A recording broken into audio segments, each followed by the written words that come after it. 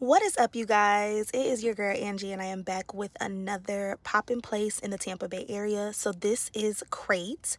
KRATE is is located in Wesley Chapel, and it is pretty much a little shopping center uh, with a bunch of different shops, restaurants, and it is all made out of shipping containers. Yes, shipping containers. Uh, hence the name KRATE. So this is a little Puerto Rican restaurant that we stopped at. We got some empanadas and alcapurria.